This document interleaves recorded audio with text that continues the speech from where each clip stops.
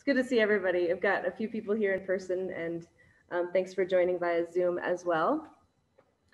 Um, I'm going to start today's meeting with some staff presentations, um, starting with Adam Harris, who's here to talk about the, his Rungius research.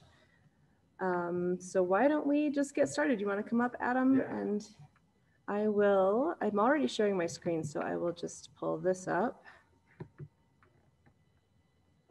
Can you all see that presentation? Perfect, thank you. Okay, come on up. Adam. I'll sit over here and keep an eye. Yeah. or- And if anybody has questions, they can pop them into that Q and A chat box Oh, and I yeah. can keep an eye on it too. All right. Well, That's bright. It is. I could probably dim it. No, that's all right. Um, it's nice to see everybody virtually and in person. Um, if you can't hear me, let me know and I'll try to talk louder. Um, I was just saying I haven't given a presentation or anything with a mask on, so this is going to be a new experience. Um, I have been working on this uh, Carl Rungius catalog raisonné project for six months now, seven months. And I thought it'd be fun to come in and share with you some of the things that I've found. Do you all know what a catalog raisonné is? Okay, so it is uh, an attempt by art historians to gather together all of the works of a given artist. And so what we're trying to do to keep it somewhat simple is to just focus on Rungius's finished paintings, his landscapes and his wildlife paintings, which probably number less than a thousand. And so what we want to do is create a catalog of all of those paintings that we can find, where they are, who owned them, have reproductions of them. So somebody could use our project as a resource if they ever wanted to do any research on Carl Rungius. Um, this uh, sponsorship came together for this last spring. Uh, so I want to thank the Thomas and Elizabeth Granger Family Charitable Fund and of course the Robert S. and Grace B. Kerr Foundation, who both got on board and said this sounds like a great, great project to do. Um, also, I want to thank the internet because given when this project started, I was just working at home. I wasn't going to libraries, I wasn't traveling. And so there are so many great resources um, on the net right now that weren't available when I was in grad school, for example, um, that I have uh, really relied on. Um, also, we launched a web page on the NMWA website, so you can find that under the art uh, tab. There's a little Rungius. I don't think I, yeah, there it is. Um, here's a Rungius, a screenshot of that. You can go on there and just read about where we are with the project. Right now, we're just kind of in the organizing ourselves phase. I have um, a great uh, person who's assisting me named Melissa, who's on the Zoom right now, and she was has been involved with many Raisonné projects. So I'm going to be uh, relying on her knowledge and experience uh, to a great degree. So let's see. I will just dive into some other stuff. This is Rungius's first press appearance that I've found so far. It's in Forest and Stream, March 16th, 1895. And it's, if I move my cursor, can you see that? Yeah. It is not this article about skunk farming. It is this article down here called A Moose Head, a kind of a minor blurb, but um, a nice little description you can see there.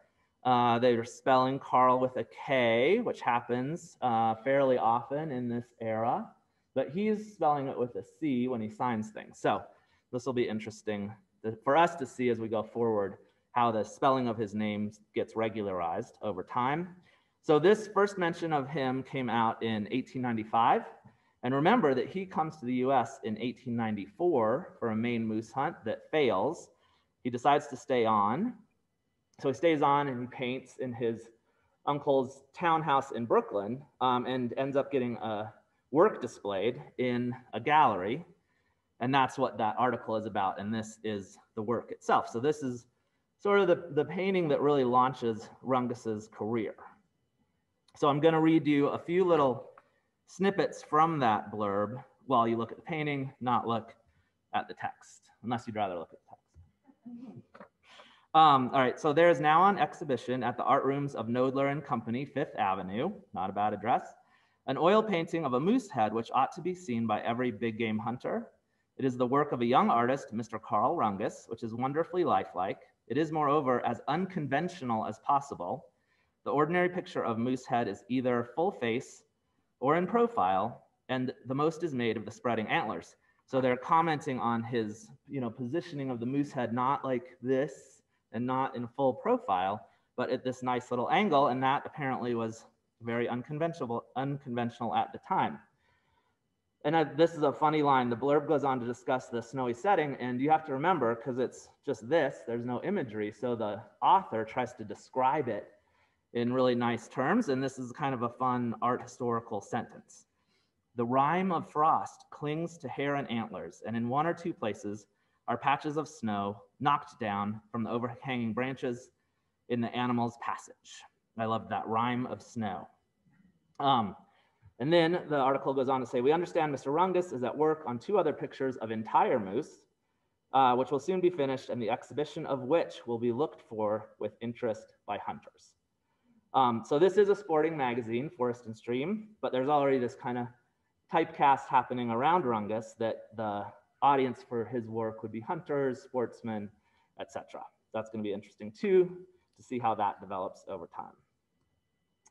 So the other great thing about this moose head is that William Temple Hornaday of the New York Zoological Society sees it in the gallery and gets in touch with Rungius, and that leads to Rungius being commissioned for all the big paintings that are out in Sullivan Hall.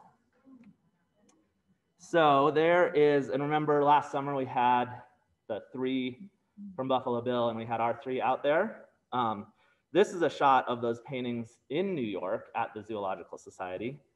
And here's our bison right here. So this moose head was a big deal. Uh, got him mentioned in the press, got him hooked up with the conservation community at the time. Um, really did a lot for him. So a couple of months after the article comes out, uh, Rungius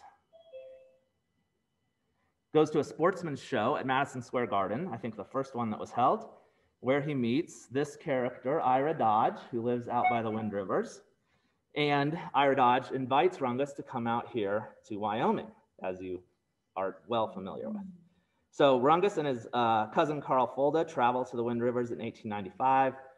They ride through Jackson Hole, ride right through here en route to Yellowstone, and then they return to New York in late November. Um, so here's our, the painting at the museum here of the Tetons that he did. He also did a painting of the Great Falls of the Yellowstone, things like that. But they came in August and they left in November. So just, you know, thinking about our weather right now, they were not here in the heat of summer. They were here um, in the fall, you know, to see the animals in their prime, etc. Um, and they did run into some snow and some weather issues, but they returned to New York with 900 pounds of trophies. So they got to, you would take the stagecoach from Cora down to Opal and get the train over. They got to Opal and built uh, huge boxes and put their trophies in the boxes. Um, Rungius said of this uh, hall, it was so new to us, we collected everything. So they really went to town on the collecting, which he didn't ever do again, but it's mentioned many times. Uh, the next uh, press clipping we have is trophies of a hunting trip in Yellowstone Park, um, brought home to Brooklyn in the Brooklyn Daily Eagle in 1896. And here, over here, is a really nice engraving of Carl Rungius and his cousin, Carl Fulda, the two participants in this trip. And again, I will go to a fun image while I read a little bit from this article. Uh, the article said the collection of heads, horns, skin, etc., which have been artistically arranged on a large frame comprise 11 pairs of elk horns, two pairs of mountain sheep horns, four pairs of black-tailed deer horns, 20 pairs of antelope horns, five elk skins, six porcupine skins, and the list goes on and on and on. Um, the also display in the right there included some paintings uh, by Rungius and photographs taken during the trip. Um, after this display and this little bit of press attention that he got, he returns to Germany for a year in 1896. In 1897, he comes back to the US, takes another trip to Wyoming, and then by 1898, he's back in the press and really begins his illustration career. So what we- we've just seen is a little prelude to what would come later. This pronghorn, again, as far as I've found so far, is his first published illustration, and it comes out in Forest and Stream, March 12th, 1898. And hard on the heels, another sporting magazine, Recreation, he publishes this nice set of sketches in April of 1898.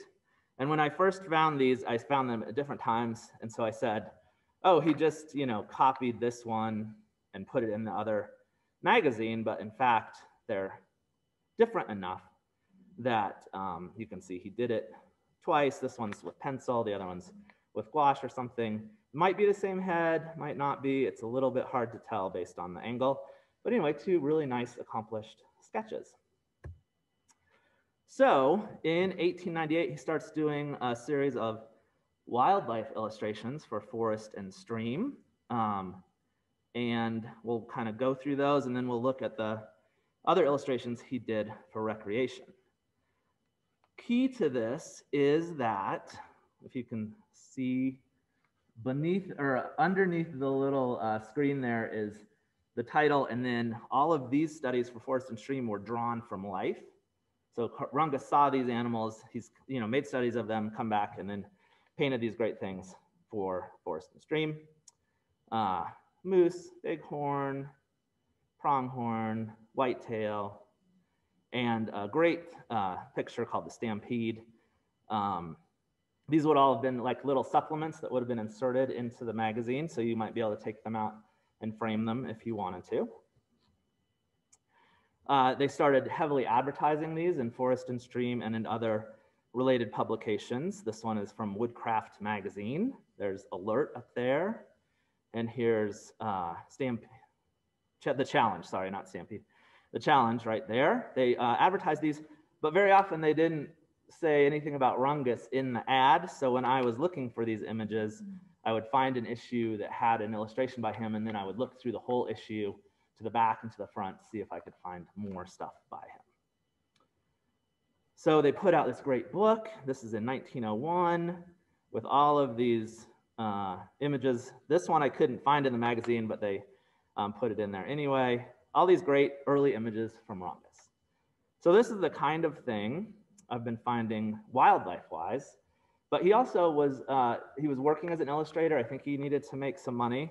So this, uh, for recreation, he was illustrating stories that he didn't, wasn't necessarily involved in. Uh, you can remember some other illustrators would be just given an assignment. We need you to paint a picture of this guy going down the street and he's just past a candy store or whatever. So maybe not a ton of info, maybe hadn't read the story. Um, and so I call this a learning curve. But just to give him credit, you have to remember that he was painting things like this, our painting of the Stampede at the time. So he knew what he was doing. But if you've gone through the Rungius Gallery with me and we've stopped at this piece, I often say he uh, obviously enjoyed painting the horse more than he uh, enjoyed painting himself. So he loved painting animals. He was not a good figure painter. Um, and that's borne out, or not a great figure painter, uh, that's borne out by some of these illustrations. This is the funniest one illustrating the weirdest story. Um, these guys were at a mining camp. It's kind of gruesome. Uh, they're at a mining camp. The hunter who's in charge of getting food has left for the day. Um, the dogs have chased a goat onto a little pinnacle, um, but the dogs, the goat is fighting the dogs off. The men don't have a gun, so they go up and attack the goat with their axes. But because the goat's head is so solid from you know butting into other goats, they can't do anything with the goat. So finally, apparently, they wrestle the goat to the ground, um, cut his throat, and then they have meat for the night. Um, so this, yeah, really is the, the weirdest one and one of his earliest uh, narrative illustrations. From there, we have a kind of interesting story uh, called Surly Bill about a guy who goes out and rescues this little baby from a kidnapper um, and ends up dying in the process. And then this one called Angles, which is about a guy on a squirrel hunt who is befriended by this little dog. And you can see for me, they get, even in this transition, get markedly better in terms of their quality. And now we move on to some more action-oriented scenes, which you don't see from Rungius all the time. This is a great one of a bucking horse. There's a bobcat or something down here, and a rider has been thrown. This, uh, even better, I think, a horse bounding away from a grizzly that this guy has just been charged by and shot. And then some kind of classic, funny Yellowstone bear stories. Uh, these grizzlies have uh, gotten into the garbage box and are eating the garbage. This grizzly is climbing into the covered wagon. Um, so stories, you know, that we're kind of familiar with today. That's why we have bear boxes. And then another one, uh, hunting scene of a hunter shooting at some bears that are attacking him. And so we go through some more hunting scenes. Also, I think Carl Rungius might have used himself as a model quite often because that guy in the background looks a lot like the self-portrait that we have. And I wanted you to notice the perspective of these pictures. Um, we are kind of behind the animal. The hunter is way back in the picture frame, sort of shooting directly towards us, which is not exactly the typical hunting uh, sort of scenario in terms of hunting pictures. Same thing here with the guys in the canoe and the moose bounding away towards us. And then even here, um, which is about Pete the dog who's chasing these sheep. The animals are running towards us and the figure is in the background. So it's a little bit of an interesting reverse perspective. If you compare it to somebody like Goodwin, um, who oftentimes does these hunting pictures, he does it more like this, where you're standing on the side of the hunter looking into the picture and so the rifle fire or whatever's happening isn't coming straight towards you, the viewer. You're, you know, on the hunter's perspective, shooting into the canvas. Um, so it's really interesting to think about that, particularly as we look at Rungius developing, and we'll see how he shifts his perspective over time. And luckily for us, you remember this uh, piece and the narrative behind it um, it's from that same perspective. The hunter is in the background, way back here, remember? But all you can see of the hunter in this one is a little plume of smoke. So it's not distracting. You don't have a gun pointing right at you. The hunter's back there. He's shot this elk and caused this stampede of the other ones in the foreground.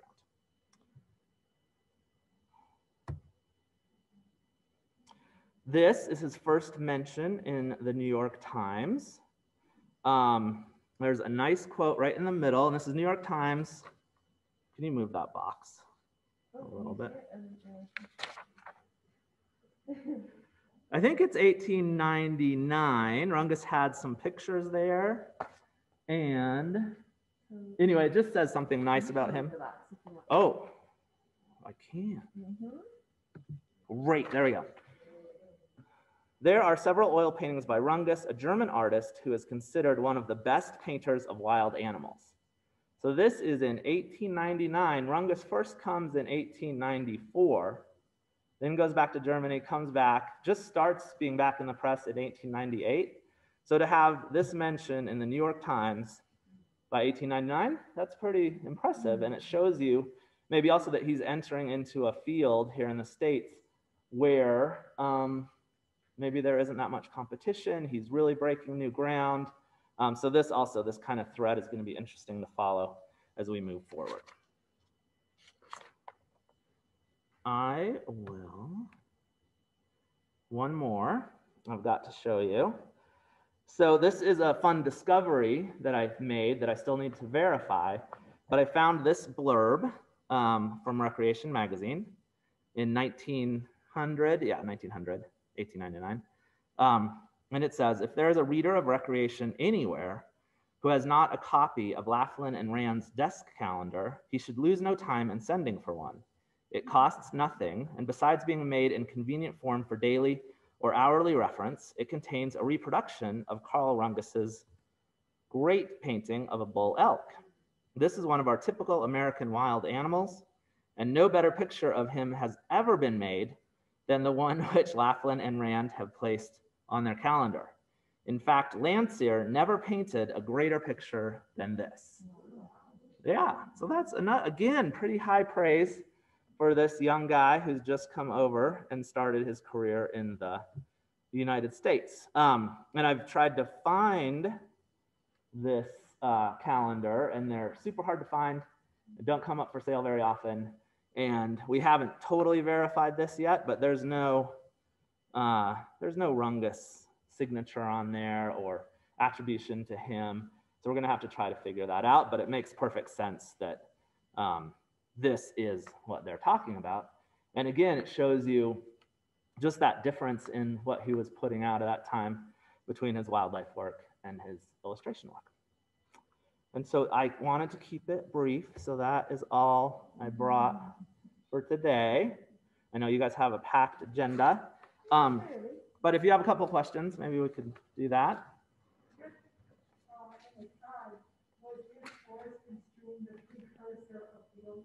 I think it was. I think before that it was something like Rod and Gun, then Forest and Stream, then Field and Stream. Um, and it's really interesting what shows up in these sporting magazines. There's a lot of uh, how to build your own yacht. Uh, pick, you know, like diagrams and stuff, and not a yacht like we have today, but like a sailing boat, um, yachting, bicycling, um, how you might bike out into the woods with your gun, like gun holders on your bike, um, tennis, you know, that kind of stuff. So it, it was not just hunting oriented, especially the recreation magazine, um, with all kinds of, yeah, funny stuff like that in there.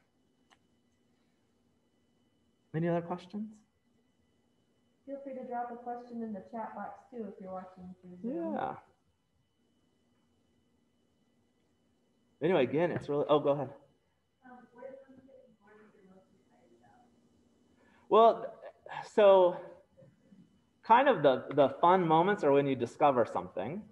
So that one right there was kind of putting pieces together, searching out what is Laflin and Rand. I've never heard of that before. Having this pop up and say, oh, wow, that's really cool. And again, this is all, you know, on the internet. If this wasn't available, uh, I would have been just reading a lot of books, which is also great, but we've been able to make these discoveries along the way. And then also when you go through, um, I don't need to go back, but when you go through the magazines online, you're paging through them, you've found something. These aren't always credited to Rungius, but you know that he probably illustrated, had three illustrations in the thing every year. Um, so you find those, and then you find an ad in the back. You say, oh, there's another Rungius uh, thing that I hadn't seen before that's the kind of moments where you're like, oh, wow, this is really cool and really fun and um, really excited to be doing it. So one question on the chat box. Um, what's your timeline for producing this great catalog raisonné? It ha- we have a few kind of benchmarks within this timeline, but hopefully we'll be done by the museum's 40th anniversary, which is in uh, 2027 right? Yeah.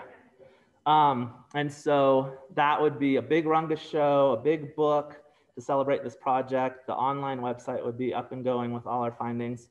Um, and then before that, we're hoping to do an exhibit uh, with the museum in the Netherlands that has a similar collection to ours, the Rijksmuseum in Twente, with, uh, but that would highlight Rungius, Friese, Kuhnert, and Liljefors, so a big four exhibit. So those are kind of our hallmarks with the, the hope of being done or in a really good state by 2027, 28, right in that time frame. Perfect. Here's a comment. I love seeing the Moosehead painting that launched his career in New York. Was that hard to find? I had heard about it, but I've never seen it before. No, it was not hard to find. So luckily, um, this picture, this got uh, Ira Dodge, and this are in the Whyte and Hart book, which is one of the first really nice, uh, great reference books about Rungius. So those illustrations are from there. did I remember that the moose picture was in there? No, but I was like, where could I find that? And then I was reading it and I found it. So that was really nice. Perfect. Thanks, Adam. Yeah, my pleasure. Uh, Lisa's up next.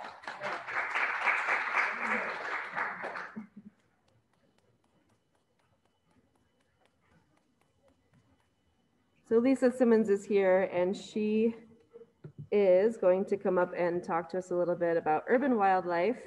And as a reminder, she's joining us now from curatorial. She has left the education department, just as a refresher there in case you forgot. Um, I am going to find, here we go. I think I need to hit escape. There we go. Find your presentation. Oops, except I can't do that yet. Share screen.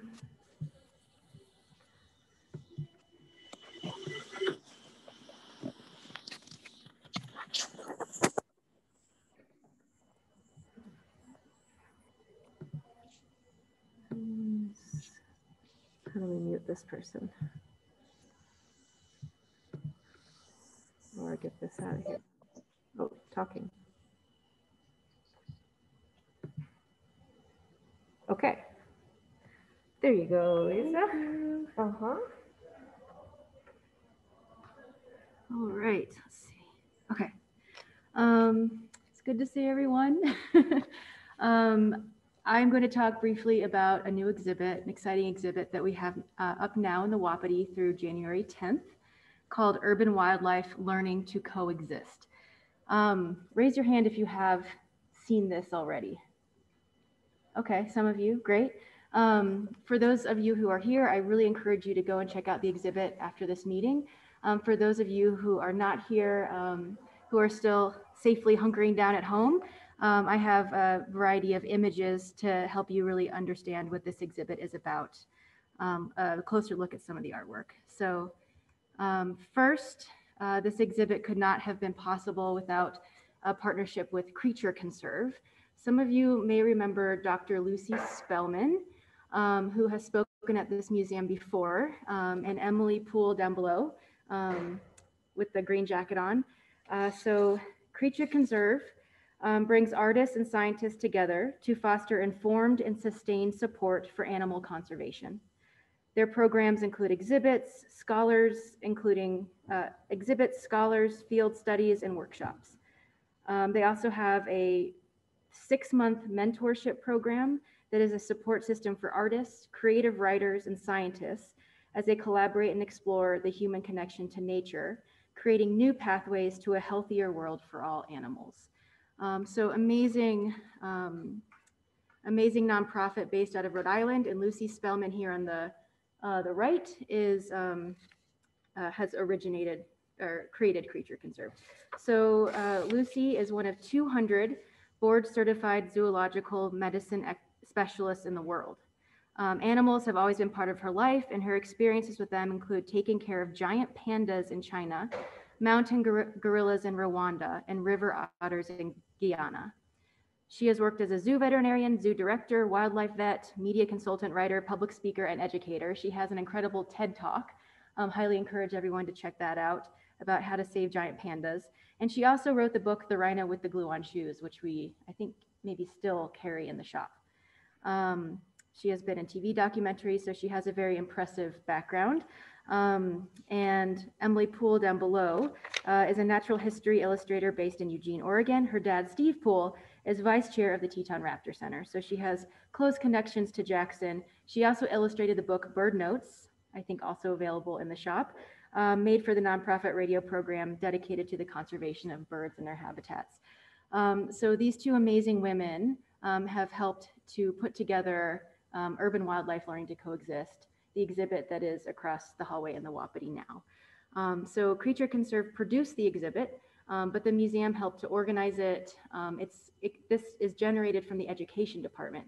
So it's the education department's first large scale traveling exhibit um, that the museum has hosted, which is really exciting. Um, so some of you may remember the 2017 summer Wapiti exhibit called Wildlife Trade um, that talked about um, the global impact or the global trade on endangered species, um, and artists were studying that impact uh, through art. Um, so uh, again, that combination of art and science in that wildlife trade exhibit, um, and again here in the urban wildlife exhibit. So um, here's a picture of the exhibit as it is installed now. Um, there are 32 artists represented in this exhibit, all living and working in the United States. Seven are from the greater Wyoming area, including uh, Susan Rose, Jocelyn Slack, Emily Poole, and some others. Um, nine are from the greater Rhode Island area, and 18 are from various parts of the, the United States. Um, and there are over 50 works of art in here, so quite a few. Uh, and you'll see a wide variety of media. Um, and this week, uh, we will be installing some sculptures from uh, the museum's collection. Uh, Steve Kestrel, um, love his work, is among his his work is among them um, of urban wildlife. Uh, so stay tuned for those. Uh, but it's uh, largely generated from Creature Conserve. With there will be museum sculptures uh, installed this week. Oh, and the introductory panel is both in English and Spanish, something that the education department is committed to doing with all of the Wapiti exhibits. So um, the, the, one of the major themes in urban wildlife is that the line between urban and wild is often very blurred. Um, we are living day to day, especially here in Jackson, we're very int intimately aware of this, living with um, animals in this urban wildland interface. Uh, and we may take them for granted on a daily basis, but they really enhance um, the wonder of, of, our lives, of our existence. Um, seeing a fox um, trotting across the road, or if you live in a bigger city, seeing a, a bird of prey roosting in a skyscraper, um, or perhaps native trout swimming in a backyard stream. These are all things that um, I know I sometimes take for granted, um, but these animals, their health depends on a healthy ecosystem. so our, our mutually shared existence and the health of both humans and urban wildlife are, are closely intertwined. Um, and so this exhibit reminds us that our world is not um, distinct from that of the animals with which we share our home. Uh, and what if we didn't see ourselves as the dominant species in, a land, in the landscape? What if we see it as a partnership and mutually shared space? Um, so that's kind of what this exhibit is trying to do it, it pairs artists and scientists. So uh, for many people, graphs and data, you know, numbers and hard science, it's hard to have an emotional connection to that. Um, so art really uh, helps us to connect um, to these animals in a more emotional way um, and to perhaps be moved to help um, and motivated to help protect them. Um, so that's kind of the power, powerful pairing of art and science. Um, all right, and just uh, something else to, to, mention quickly, we have hosted two art science workshops here at the museum over the past three years, which have been very successful. Uh, so we've invited, uh, this is through Creature Conserve, we invited scientists from um, the region uh, to present their data and their research, and artists translated that into um, visual art. So that was very exciting. Um, and here, uh, so I'll, I'll just briefly go over a few of the uh, works of art that are in urban wildlife uh, to hopefully entice you to come see it. Um, this first one, and this is digital media. So there's quite a few um, digital works in, in the gallery, which is exciting. Um, so this is called Blanketed. It's by an artist named Amy Chen, uh, made in 2018. Um, and so this girl in the bottom left is throwing this protective, colorful blanket over this heron um, to, to, to um, help protect it from deforestation and other issues that are threatening its survival.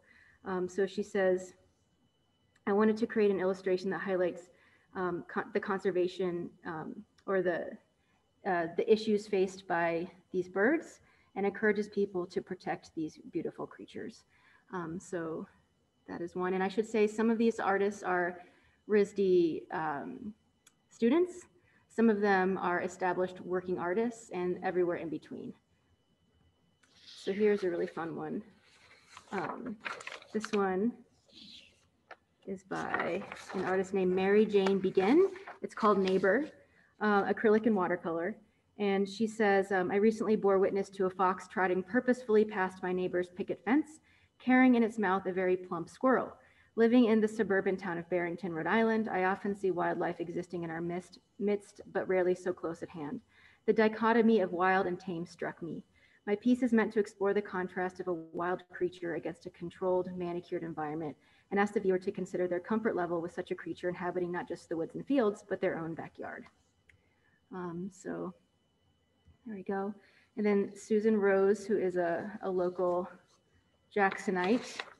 Um, this is called Potential Hazard. Um, and she explores um, the, the uh, many of her pieces have to do with birds and confronting obstacles, uh, human-made obstacles um, in their daily lives, like these power lines, um, who are one of the leading causes of bird mortality. Um, so that's a piece in the exhibit. This one's really fun. Um, let's see. This is by Yismay Durkon. It's called Coyotes Among Us. Um, these two paintings were inspired by urban coyotes and their interactions with humans. Um, they imagine a representation of an ideal urban setting that has natural green spaces for humans and coyotes to thrive in.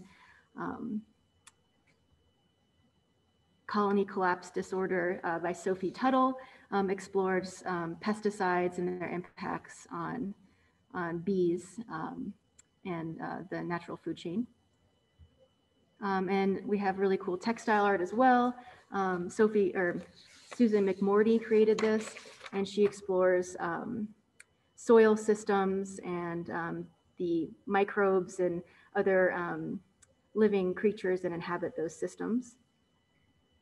Uh, and we have a really cool artist bio binder um, because um, these are emerging, um, mostly emerging artists, so people can learn more about them. There are websites and more information about the artists. So, so it's a fun exhibit. I hope you guys all get a chance to check it out. Thanks, Lisa. Yeah. It is a great exhibit. Yeah. It's really, really fun. Um, okay, Sherry, as you all should know by now, was our education summer intern. And she has now joined our staff as the Associate Curator of Education and Outreach. And she's not here in person, but I think I saw her on Zoom here. Yeah, I'm here, Rachel. Perfect. Hi, Sherry. How are you? Good. How are you doing? Doing great. Okay. Am I good to go? You are good to go. Take it away. Okay. So I just wanted to come on and say a brief hello since I know I haven't met quite a few of you in person yet. But as Rachel said, I'm Syrian. I am taking over Lisa's old position. Um, just very briefly about my background. Prior to this job, I was a writing instructor at Oregon State University and also worked as a wildlife rehabber in um, Corvallis, Oregon. So today I wanted to just talk a little bit about the app tour that I've been working on with some amazing volunteers, some of them who are here, I think, today. Um, so this was in a project that started during my internship who where the goal was to kind of highlight some of the amazing women artists in our permanent collection, but do it in a way that really highlights them not for their gender, but for their amazing skill as wildlife artists that really explains to people why they deserve a place in our really unique collection. Um, so right now in the process, the scripts are nearly done. Um, recently, we had a new volunteer join our family at the museum, Vivian, and she is working on finishing up the last two scripts for me. So thank you, Vivian, if you are here today.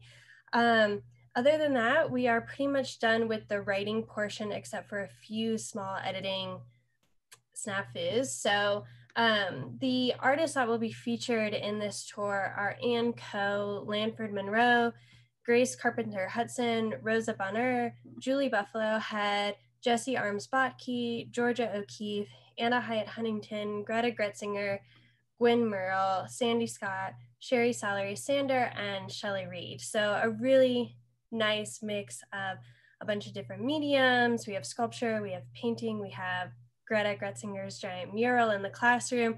So there will really be something that I think everyone is interested in learning more about on this tour. Um, so my personal goal, because we have to have the tour done by the end of the fiscal year, is to have most, if not all, of the recording done in January.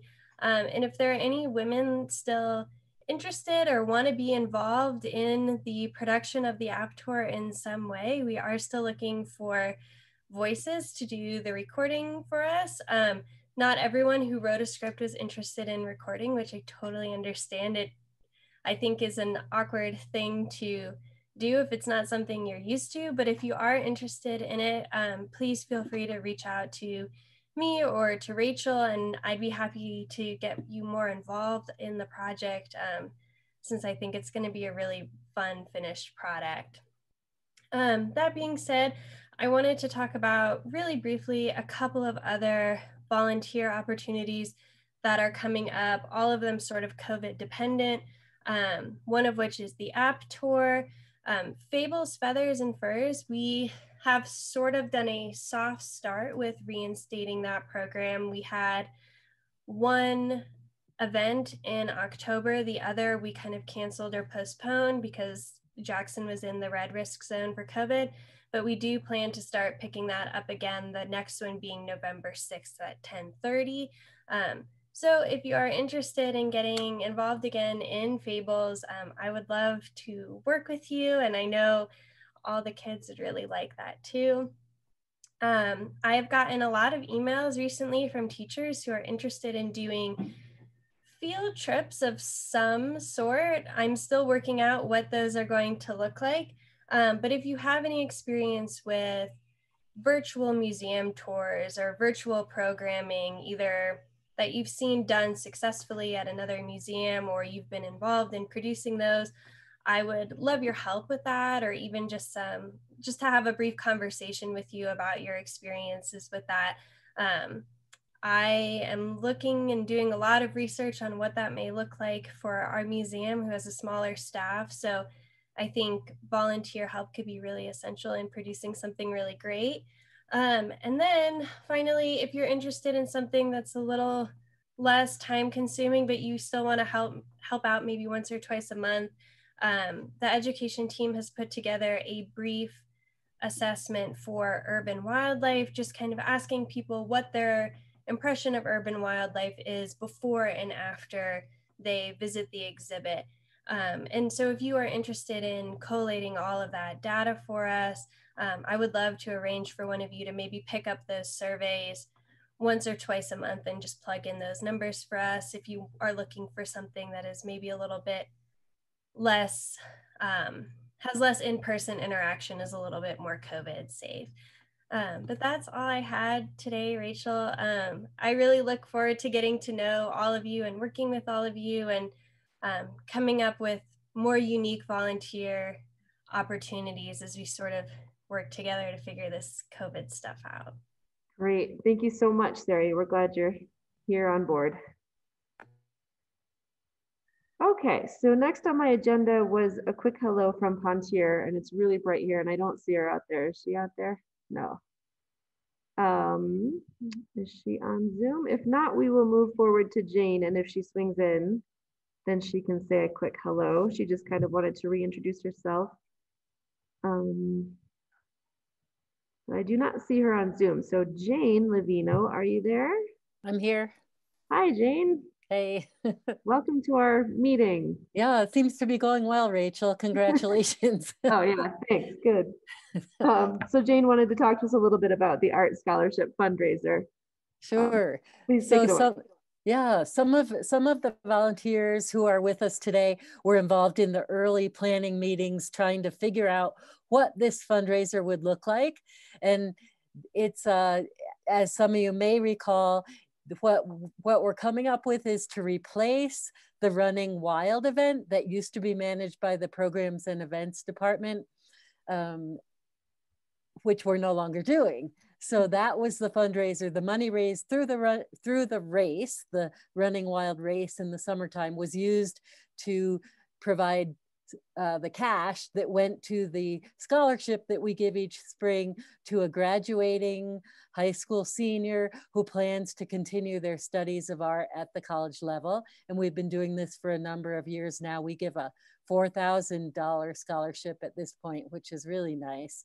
So what we came up with, with your help, was that we wanted to make an art making class that would be for adults or high school through adults, I guess is what we're saying, that would um, kind of uh, serve two purposes. One, the registration fees would go towards the scholarship. Two, it's another adult education class with art making, which we had heard from, you know, people wanted to see more of. We've done a little bit here and there in the past, but nothing too consistent. So what we've come up with, and then of course COVID happened, which really slowed things down because we were originally planning to have in-person art classes, sort of like what some of you may remember when we used to have the Tapas Tuesdays. We used to have on those Tuesday evenings when the restaurant was open, we had art making classes. For example, Catherine Turner came in one time and did a bear sketching class in the galleries, looking at the bear art in the collection and then inviting people to do some sketching with her in the galleries. Anyway, we've completely, so initially we were calling this sketch nights at the museum. But because of COVID, we've had to rethink that. We don't think it's a good idea this winter to have in-person gatherings of people inside the museum.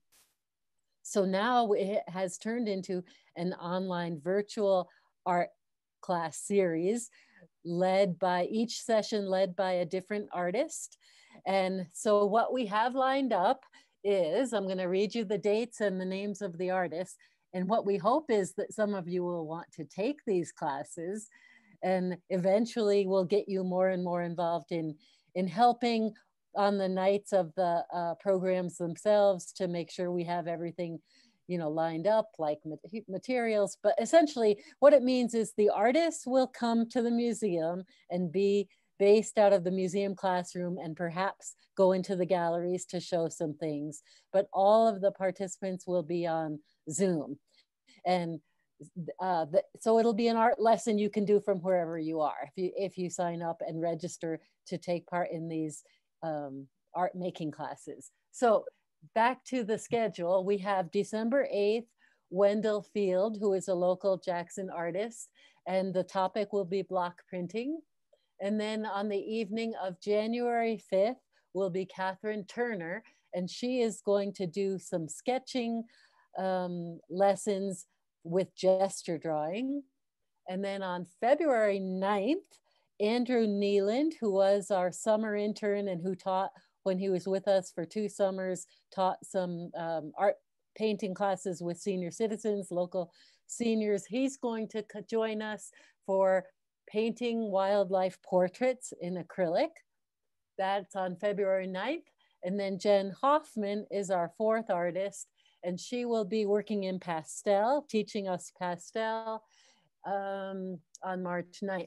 All of these classes take place from let me see if I can find the time here. I think it's 6.30 to 8. Is that right? 6.30 to 8, yeah. 6.30 to 8. And so you will be seeing more information coming out soon. We Again, we hope some of you will like to join us for these virtual art making classes. The artists will share a list of materials ahead of time. They will share artwork from the collection that they find relevant and inspiring to what they will be teaching. The cost will per class will be $35 or if you do all four, you save $30 and it'll be 110 if you sign up for all four. You will also have the opportunity of um, if you can't make it in person is what we're it's kind of called a live virtual class like we're in right now. Exactly. So virtual, but most of you are joining us um, most I mean we're in live time together even though we're most of us are connecting virtually today and not via the auditorium. Jane? that, yeah, that's just a kind of a snapshot of what's happening. But Carrie Schwartz is creating the advertising collateral right now. So you should be seeing that soon. And then you'll be able to start signing up and hopefully be a part of this and tell your friends to be a part of it. and we'll start to bring in some money for the for the scholar high school scholarship, which is a great thing that the museum does each spring. Any Did you questions? comment? Did you have a comment, Gigi? Yeah. Yeah, I just had a question. What did you say Wendell Field was doing on December 8th? Oh, I may not have said, but he's doing block printing. Rock? Block printing. Oh, block printing. Uh-huh. Okay, Thank you. Perfect. Any other questions about that very exciting event? Events. Okay, Thank you, Rachel. great. Thanks, Jane. That's awesome. We're, we're really looking forward to doing that. I think it's going to be really fun. Um, and the artists are looking forward to it as well, from what we can tell. Um, I'm thinking that right now we should just take a quick break, maybe 10 minutes. I know that's kind of awkward for people on Zoom, but maybe you all need a break too. Um, I would suggest just keeping your computer where it's at and step away if you want to. I'm going to step away for a couple minutes and then we'll come back and just kind of finish up. Um, maybe another half hour of stuff that I'll go through and then we'll be we'll be good for today. By now, you guys have all met most of our new employees, new staff members. Um, but I did want to make a note too and remind you guys of Carrie Garner, who hasn't been introduced at a quarterly meeting yet um, because our July meeting was canceled um, due to COVID. So just to, to refresh your memory, Carrie Garner is our museum shop assistant manager. So if you're here and you see her, introduce yourself, say hi. I know she's met a fair amount of you, but just wanted to mention her name again. Um, and we have been in a little bit of a hiring freeze um, as of late because of COVID and budget stuff. But I am told that we are sort of lifting that for two positions that are upcoming that we're just kind of starting getting the ball rolling on hiring for, um, which is a development associate and the supervisor of admissions and visitor services. Um, so like I said, we're not that far along in that process, but we will be hiring for those two positions. So that's good news. Um, I wanted to mention a note from the museum shop. Starting December 1st, during the entire month of December, the shop will be offering volunteers a 30% discount this year, um, which is good for one shopping trip as it has been in past years. Um, so it's 30% this year, and we hope that you will visit the gift shop and do some Christmas shopping. It starts December 1st and it runs through the entire month. Um, and then at this time, I would like to just take a couple minutes and just sort of recognize volunteers for your loyalty and your willingness um, just to help out in what has been a really strange and difficult year for all of us. Um, even when you weren't able to be here physically, you've all been reaching out and been in contact. And I hope that you're feeling like you're still connected to the museum, even though things are strange. Um, so we really appreciate your just staying in contact with us and keeping us in the back of your mind. Um, I am sad that we weren't able to have a summer volunteer appreciation party. So I just wanted to sort of mention that, that I'm sorry we couldn't do that, but that we have not forgotten about you and we will have a party. Um, I think that when this is all over, we'll all be in the mood for a really big party. So my hopes are high for, for something great for you guys. um, I have a message from Jennifer Tremblay. She says, I would like to express a big thank you to those who have led tours this summer and fall. I know that it's not easy to speak for an hour in a mask, but I applaud everyone who did and then signed up for more. We were able to get every tour covered and didn't have to turn any requests away. One company in particular has told me multiple times how much visitors loved the tours. The work you do is invaluable and appreciated more than you know. So thank you. Um, that's huge that we didn't have to turn anyone away for a tour this summer and fall. That's um, amazing. I know we didn't have too many requests and they tended to be small, but thank you for dealing with that. Um, Katie was gonna say a couple of things. Um, I didn't really give her a good time to come and talk. Let me see if she's on Zoom here. Katie, are you around? I don't see her anymore. If she swings back in, um, I'll bring her up here. Um, but she just wanted to say thank you, obviously, for all of your help during Western Visions too, which again was not normal by any means, but we really made it work. And Katie really blew it out of the water. I think we all agree. Uh, she did such a great job, but she is so thankful for you guys too. Um, and so there's some bags up here for those of you that are here today. You can grab a bag with some chocolate in it um, as a thank you for working Western Visions. Um, like I said, if she comes, if she swings back in the door, I'll, I'll pull her up here to say what she wanted to say. Um, so maybe we'll come back to her. So these COVID closures and sort of limited volunteering opportunities this year meant that I also held off on voting for a 2020 Volunteer of the Year, uh, which some of you have probably noticed and been wondering about. So I just wanted to mention that we will hold a more regular election next year um, and kind of call 2020 a, a, little bit of a wash, um, just because a lot of people just weren't volunteering that much and it just didn't seem like a, a fair playing field. Um, so in the interim, I would like to just recognize six very special volunteers that have hit a milestone of 25 and 26 years of service with the National Museum of Wildlife Art, which is amazing. Um, and so we've decided, um, myself and volunteer leadership committee have kind of talked about this. Um, and we would like to acknowledge these six lovely ladies as our 2020 volunteers of the year. Um, so they are Susan Brooks, Natalie Goss, Allison Jones, Cynthia Quast, Bobby Thomasma, and Martha Van Genderen. Um, and I have a little gift for you. Yeah, yay.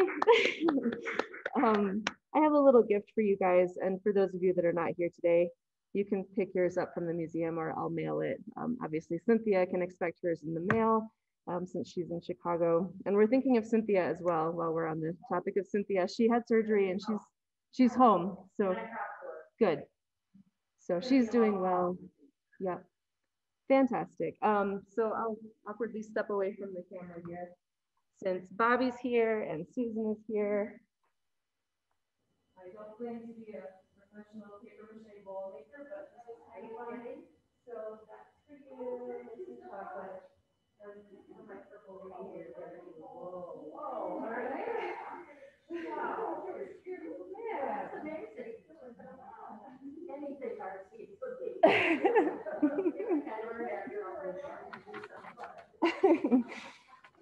All right, so just a couple more minutes here. Look at, see, I'm busting this out in 15 minutes. Um, just a few things to keep in the back of your mind as far as things that are coming up. Um, as far as trainings and events and social things, obviously there's not a lot of in-person events going on still at the museum. Um, First Sundays, for example, is not gonna happen as normal this winter um, and this fall, but we have a, another something in the works for locals appreciation. So stay tuned on more information on what that will look like. We're very early in the planning stages there, but we will do something else to appreciate the locals instead of First Sundays. There will be a webinar coming up with the upcoming Sage Grouse exhibit. Um, so that will be a good volunteer training with that exhibit. And it's scheduled for Friday, November 6th at 10 a.m. Is that still correct, Jane? I think it's I think it's Friday the 6th, but at any rate, we'll have yes, more. I had heard that. I had heard that at one time, but that was Right. just in a meeting. But I, as far as I know, that's still correct. Okay, so we'll be confirming that in the future, but just so that you're aware that we will have at least that training associated with, um, with the exhibit for volunteers. There will also be another series of the Y to Y, um, the Yellowstone to Yukon series that we started last year. Um, we'll have another series of that sometime in November. I don't believe we have a date confirmed yet, though. Um, there will also be a webinar coming up on the Bull Bransom winner. Normally, we have the Bull Bransom um, person come and visit the schools, and we usually try to have a volunteer training with that, but we're not able to do that, I don't think, this year, and so we're going to replace it with a webinar. So more details on that to come as well. Um, for social things um, with volunteers, we've had a really great year of hiking. This fall was amazing, um, but I think the weather's going to be flipping here. So hiking is probably done, and we'll start planning um, cross-country skiing, um, which I think we're going to add a second day to the Friday date. So offer a couple different locations for people and maybe a little bit more opportunity for volunteers to join us skiing. Um, in November, we're going to do a walkthrough of Living Legends 3, which will open early in November. Is it the 7th as well? I don't have the date in front of me. Living Legends 3, new exhibit opening in November. Um, we're going to invite Carrie Wild to give us a walkthrough for volunteers, um, just as a fun social event. So stay tuned on a date for that as well. And then lastly, for fun, for a social thing, I want to lead you guys in a in an activity here at the museum in the classroom. we'll probably have to limit it to some extent as far as the crowd, but um, the classroom holds a fair amount of people, so we'll think about that. But um, I just want to do a tissue paper painting um, for fun. It's a very easy, um, fun, sort of crafty, artistic thing to do together. So we will choose a Monday in November to get together and do that as well. Um, at this point, I think I will just open it up if you, if anyone wants to raise your hand or unmute and discuss anything or say anything or ask questions, concerns. Um, oh, yes. Okay. I just want to thank Rachel for organizing the hikes and skiing last winter. It's been just really fun and more and more people are enjoying it and a Mhm. lot of staff. It is, it's just been terrific and thank you. Yeah, you're welcome. And I've had a lot of help in planning those too. So I have to give a shout out to Lori, um, Lori Bay and Ellen Sanford, who are my social helpers. So thanks to you Ra- guys. Rachel, will you repeat what she said? Because we couldn't hear it. So. Yeah, So sure. we know what your answers were. Sure, she was she was thanking me for helping um, plan and and do the social the hikes and things like that. Um, they're really important to me. I know they're important to you guys too, just to have that um, just that engagement and chance to see each other. Um, so it's it's a lot of fun, and I'm glad you guys can can do that.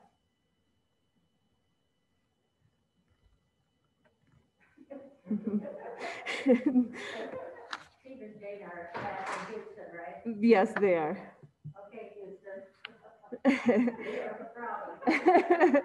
Anyone else have any questions, comments? Yes. Good question. Karen has asked if we're going to plan on uh, doing anything to decorate the museum for the holidays. Um, I've heard a little bit of discussion starting on, gosh, are we going to do any decorating for the holidays? And I, that's as far as I've really heard. So I think the short answer is yes, we will do some. Um, what it looks like exactly at this point, I'm not sure, but I'm sure we'll put up a Christmas tree. Um, so yeah, we, we'd love to have volunteer help with that. Besides the fact that it's just fun, it's a nice thing to do. So we'll, we'll plan on doing something. Rachel, Yes. do you have a date for the training for Living Legends 3 yet? I do not. As far as the walkthrough with Carrie, I don't have a date yet. Okay. And as far as training goes, um, we'll figure that out, um, what that will look like. At this point, I don't have a date. I might have a date on a previous calendar, um, but I'll have to look back. I may have scheduled something, um, but we may have to play it by ear whether it will be in person or not. Let's see how the winter goes. Can you tell us more about Sage Grouse? Is this an exhibit that we're going to- Yeah, so the sage the sage grouse exhibit is a photography exhibit. Um, Napthong, and I forget his last name. Um, so that's going to be a big photography exhibit focusing on sage grouse, and I believe that is still scheduled to open on October 31st. So um, I had originally planned on doing some training with that exhibit at this meeting, um, but I haven't planned that um, for today. So we'll, we'll do something else for that. Um, There is the webinar that will happen um, with the sage grouse on Friday, November 6th, I believe. So that would be definitely one opportunity for a volunteer training. And if we need to do some more, we can, we can probably do a little bit more in-depth training on it too, if we need to. I'm open to that idea.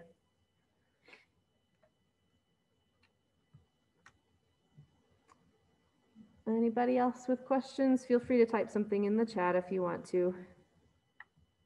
Our next um, quarterly meeting is planned for Wednesday, January 20th at 10 a.m.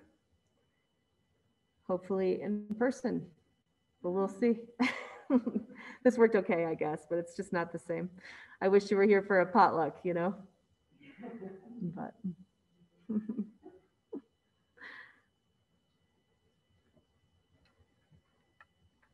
All right, I don't see anybody else waving their hands wildly at me. So I think that we can probably be wrapping it up for today. Thanks again, you guys, so much for joining this and for putting up. You're welcome. Thank you. Rachel. Good to see you. You bet. We'll see you again soon. Bye, everybody. Bye.